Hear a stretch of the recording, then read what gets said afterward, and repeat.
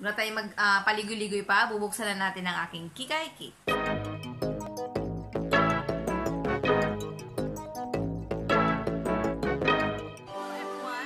bebs, sa mga hindi nakakilala sa akin, again, my name is Rubes Jerusaga and welcome back sa akin channel, okay? So today, I am back kasi ipapakita ko sa inyo ang aking Kikay Kit, okay? So mag-what's in my Kikay Kit tayo for today's video. O yan, okay? Uh, sobrang liit, sobrang uh, uh, nice ng color, sobrang ganda, nakaka-girl talaga siya. Okay? So this kit is bigay lang din sa akin ng aking uh, cousin na uh, nakatira sa Japan. So, pasalubong niya sa akin to uh, last 2 years ago and then uh, nilagyan din niya ng uh, dalawang lipstick ata yun yun. So, yun yung pasalubong niya sa akin with this kit. Okay, so, sobrang lang ako nagagandahan. Ayan, may Japanese character pa siya. Hindi ko alam kung anong letter o ano yan, anong sinasabi dyan. Uh, basta yun, or logo lang ata to, or whatever. Wala tayong mag uh, paligoy-ligoy pa. Bubuksan na natin ang aking Kikai Kit. Ayan. Ayan yung zipper niya. Ito ang laman ng aking Kikai Kit. Yay! Ayan! Yay! Yay! Yay! Yay! Uh, una kong ipapakita sa inyo is tong aking ano bang unahin ko ipakita sa inyo? Okay, so ang uunahin kong ipakita sa inyo guys dito sa laman ng aking Kikakit is ang aking blotting paper. Ayan, guys. So, this is a oil control blotting paper ng Pretty Secret. So, ayan yung laman niya, guys. Ayan, paper lang siya na uh, pagtanggal ng uh, oil sa ating face. So, this is very important for me guys kasi sobra-sobrang oily kasi ang aking skin. So, yun nga, like sabi sa inyo na napaka-oily talaga ang aking skin. Yung iba naman, um, ang oily lang sa kanila is yung T-zone lang. Sa akin talaga, all over my face talaga. Lahat ng parte ng aking face is oily. I don't know why. So, ang pangalawa is uh, my loose powder foundation ng Ilana. Ayan. So, okay. So, gustong gusto ko siya guys kasi loose powder lang siya pero at the same time, foundation siya. And ang ganda ng coverage niya sa aking face. So, yun. Uh, hindi ko na kailangang magdala ng uh, liquid foundation, brushes, o ano pa man. Ito lang sa akin guys pag umalis ako sapat na. Yeah. So, the third one is my Little Secret All Day Matte Powder ordinary powder pero siya guys. Ayan. So this is uh, from Pink Sugar. Ayan yung laman niya guys. Ayan. Pang retouch ko lang siya guys pagka nag-oil ako dito kasi okay naman yung oil control nito para sa akin. It lasts 5 hours at pag nag-retouch ako, I use matte powder na lang para sure. So, the, the third one, uh, ay pang-apat pala, pang-apat pala is the concealer. I have LA Girl Pro Concealer here. Ayan, sobrang liit lang niya. At gusto-gusto ko yung tip niya kasi parang napaka-soft lang. Then naman, I have a BYS Matte Eyeshadow. Ayan. Pag umalis ako na walang makeup and then dala ko itong kikay kit ko. Ayan, ginagamit ko siya pang eyeshadow. Oh! Ayan. Meron din siyang uh, small applicator. Ayan. But mostly, ginagamitan ko siya ng finger. Akin lang naman to guys. Ako lang gumagamit kaya carry lang.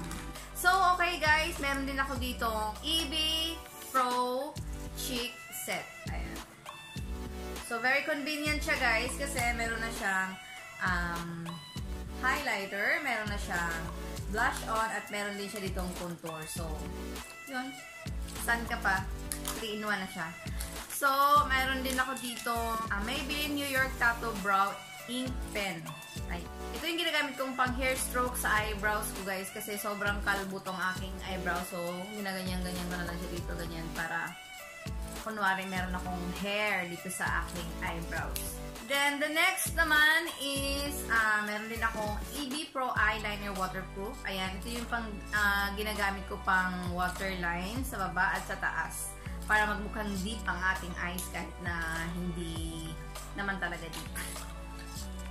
Okay, so the next one naman is meron ako ditong lip. Wala na siyang tasa guys. Ayan, medyo purol-purol na siya. So, I have here a uh, shade in the shade of Flesh ng BYS. Ayan. There. Then, uh, meron din akong EB Advanced Brow Define. So, ayan yung laman niya, guys. Then, meron din ako ditong Infallible Pro Matte Liquid Lipstick ng L'Oreal. In the shade of, what shade is this? Nudist. Ayan. Yun yung ginagamit kong pang lipstick guys pagka nasa labas ako para hindi na retouch pa ng retouch. Kasi tamad ako mag-retouch guys. Then, meron din ako ditong uh, ito, Vice Phenomenal Velvet Liquid Lipstick. Ayan, ng Vice. So, dati, ang nakalagay talaga dito is na aking colorette na color teen. So, the last day, yung mga nakakita ng aking review about sa Vice, uh, Phenomenal Velvet Lipstick. Ayun, kinuha ko siya at nilagay ko siya dito. And this shade is, I think, uh, Iscarabu. Ayan, Iscarabu or whatever. Basta yun guys. Gustong gusto ko yan kasi sobrang soft, velvety siya. So, kunting ano mo lang, kunting uh, swipe lang dito sa ating aking lips and then irarab ko na sa aking fingers is go na. Then, I have here a Maybelline York, the Hyper Curl Volume Express Waterproof, ayan, mascara. So, this is my all-time favorite, guys. Um, ito talaga ang pinaka-favorite kong mascara as of now talaga. Yun.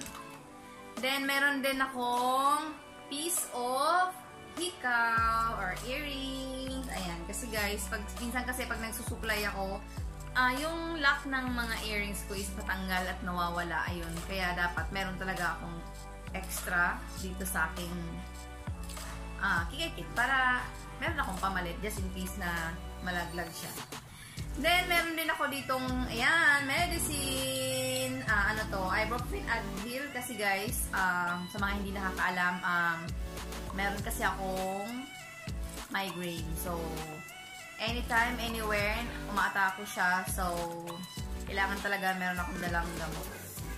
Okay, so, uh, moving on, meron din ako ditong, uh, hulaan nyo guys, ano to, toothpick, ayan. Kasi alam niyo naman, pag kumain tayo sa labas, alam niyo naman, pag lumapang tayo sa labas, ah, kailangan natin ng toothpick. And then, I have here a, yun, pabango. Sa mga nakapanood sa aking what's in my bag, so meron din akong pinakita doon na kulay red na ganito rin, ganito rin siya. So, tatlo kasi to guys, ah, dalawa sa aking bag at dito sa aking gikay kit, meron din akong, na merong ganito. Kasi dala-dala ko sila and then very handy lang kasi sila guys at mabango. So, yun nga, bigay lang to dati ng wife ng uh, brother ni my dad. So, ang pinakahuli, ang uh, aking sponge. Ayan. Uh, this sponge guys, ito yung ginagamit ko para dito sa powder na to. Kasi powder lang naman to eh. So, yun, ito yung ginagamit kong pang-apply, applicator. Ayan. At the same time, ito rin ginagamit ko dito para sa aking powder. So, ayan, nang maliit lang siya. At ito sa aking blush, ayan. Dito sa contour, guys, uh, ginagamitan ko lang naman to ng aking uh, finger. Eh. Na ganyan ko lang kung saan gusto kong i-retouch na, na contour. So, okay, ito yung sponge ko na ginagamit ko, guys. Marami kasi akong ganito, guys, kasi ito yung ginagamit ko sa mga powder ko. Uh, ayoko na kasi magdala ng mga brushes kasi malalaki. So, hindi naman kasi dito ang brush ko eh, kaya yun ayoko naman talaga magdala ng mga ganito eh. Pagka ano lang, pagka umalis lang ako na, or pagka lumabas lang ako na medyo matagal-tagal yung, uh, for example, uh, whole day or mga 10 hours, o ganun ganun. Kailangan ko magdala ng kikay kit. Pero pagka alam kong sandali lang ako sa labas, like 5 hours, 4 hours, ganun, uh, hindi na ako nagdadala ng mga ganito guys. Gumagamit na lang ako ng mga product na alam kong uh, long lasting at hindi na ako paulit-ulit pang mag-retouch. Ano ko pala, hindi ko na ipakita sa inyo guys ang aking all-time favorite na uh, eye curler, lashes curler. Yun, uh, ito yung pinaka-favorite ko kasi ewan ko, basta gusto-gusto ko siya. Meron naman akong mga ibang mga uh, eye uh, lashes curler. Pero ito talagang pinaka-favorite ko. Na favorite ko talaga So, yun lang guys, ang aking what's in my Kikay Kit.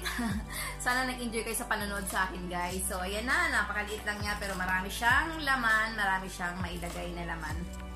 Okay, so, uh, before I end this vlog again, I would like to say thank you again sa lahat ng aking mga subscribers, sa aking mga bagong subscriber. Thank you, thank you so much guys. At um, sana magkasama pa tayo forever. And then, um, ilang days na lang guys, Christmas na. Um, So, Merry Christmas and Happy New Year sa inyong lahat ng aking mga subscribers, sa aking mga bebshies. Uh, sana mag-enjoy tayo sa Christmas na darating at ang New Year na darating. Thank you guys for watching and stay tuned and see you in my next video. Bye!